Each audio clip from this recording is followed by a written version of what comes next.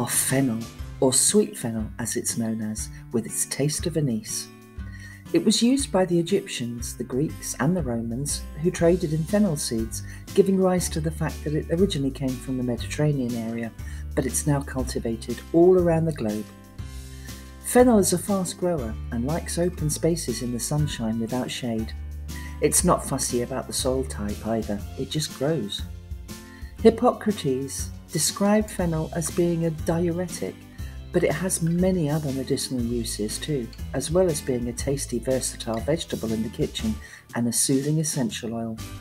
It's low in calories, but high in nutrients such as fibre, beta carotene, vitamin C, and potassium, to name a few, and all parts of the plant the stem, leaves, roots, seeds, and bulb can be used either for medicinal or culinary purposes. The essential oil is made from steam distilling the seeds and makes a comforting massage for ladies when it's their time of the month by adding a few drops to a carrier oil and mixing it with some rose and bergamot essential oils. Massaging with fennel essential oil also helps combat colic, flatulence, indigestion, IBS, bloating, spasms, cramps, fluid retention, breastfeeding problems, menopausal symptoms, body odour, and motion sickness. Fennel has a restorative energy. Its comforting scent helps to balance mood swings, assisting us to think positive and encouraging us to take action as it improves our stamina.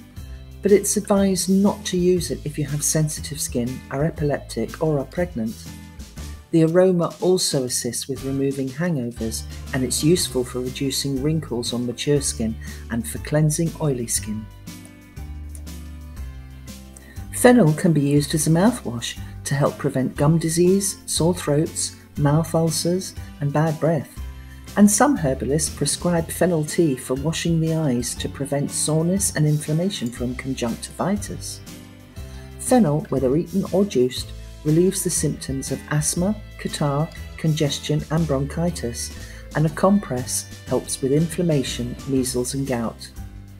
Fennel helps to keep our kidneys healthy, preventing urinary disorders, and is a natural anti inflammatory.